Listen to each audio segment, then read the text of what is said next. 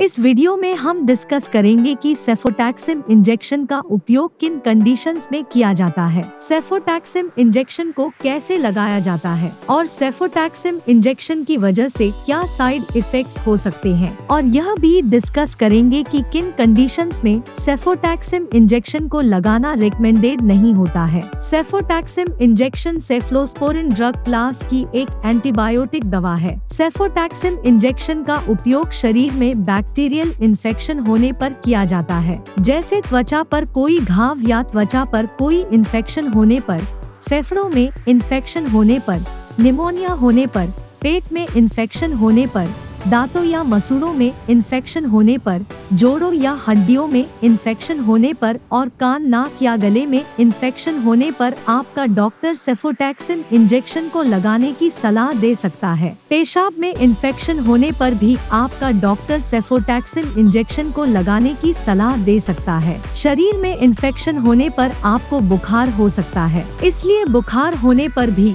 आपका doctor cefotaxime injection को लगाने की सलाह दे सकता है। कोई सर्जरी से पहले और सर्जरी के बाद इन्फेक्शन को रोकने के लिए और इन्फेक्शन को ठीक करने के लिए भी डॉक्टर सेफोटैक्सिन इंजेक्शन को लगाने की सलाह दे सकता है। इसके अलावा भी बहुत सी ऐसी कंडीशंस है, जिनमें आपका डॉक्टर सेफोटैक्सिन इंजेक्शन को लगाने की सलाह दे सकता है। Cefotaxime injection 125 mg 250 mg 500 mg और 1000 mg की स्ट्रेंथ में अवेलेबल है। दोस्तों, अगर आपको वीडियो पसंद आ रहा है तो कृपया वीडियो को लाइक करना न भूले। अब हम डिस्कस करेंगे कि सेफोटैक्सिम इंजेक्शन की वजह से क्या साइड इफेक्ट्स हो सकते हैं। वैसे तो ज़्यादातर व्यक्तियों में सेफोटैक्सिम इंजेक्शन की वजह से कोई साइड इफेक्ट्स नहीं होते हैं। लेकिन कुछ परसेंट व्यक्तियों में सेफोटैक्सिम इंजेक्शन की वजह से कुछ सामान्य साइड इफेक्ट्स हो सकते हैं। जैसे उल्टी आना,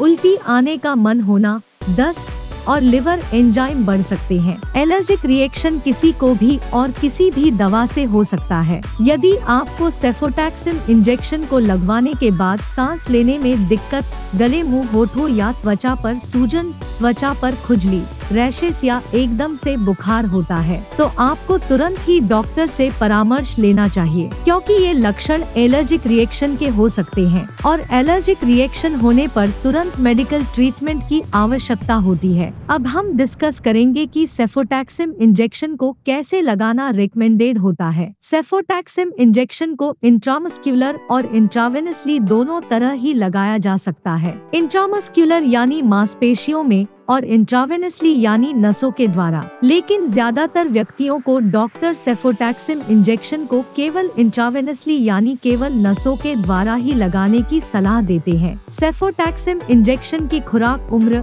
शरीर के वज़न और बीमारी की गंभीरता के आधार पर सभी व्यक्तियों में अलग अलग हो सकती है। इसलिए आपको सेफोटैक्सिम इंजेक्शन को लगवाने से पहले डॉक्टर से परामर्श लेना चाहिए। अब हम डिस्कस करेंगे कि सेफोटैक्सिम इंजेक्शन इंजेक्शन को लगवाते समय क्या क्या सावधानियाँ रखनी चाहिए? आपको सेफोटैक्सिम इंजेक्शन को उतने समय तक पूरा लगवाना चाहिए। जितने समय के लिए आपके डॉक्टर ने सेफोटैक्सिम इंजेक्शन को लगवाने की सलाह दी है, क्योंकि सेफोटैक्सिम इंजेक्शन को अपनी मर्ज़ी से पहले बंद कर देने से आपका इन्फेक्शन वापस आ सकता है। Cefotaxime injection pregnancy category B की दवा है। प्रेग्नेंट महिलाओं और स्तनपान करा रही महिलाओं को डॉक्टर सेफोटैक्स वैक्सीन इंजेक्शन को ज़रूरत पड़ने पर लगाने की सलाह दे सकते हैं। इसलिए प्रेग्नेंट महिलाओं और स्तनपान करा रही महिलाओं को सेफोटैक्सिन इंजेक्शन को डॉक्टर की सलाह के बिना नहीं लगवाना चाहिए। वीडियो को देखने के लिए आपका धन्यवाद। अगर आपको वीडियो पसंद आया तो प्लीज़ वीडियो को लाइक कर देना,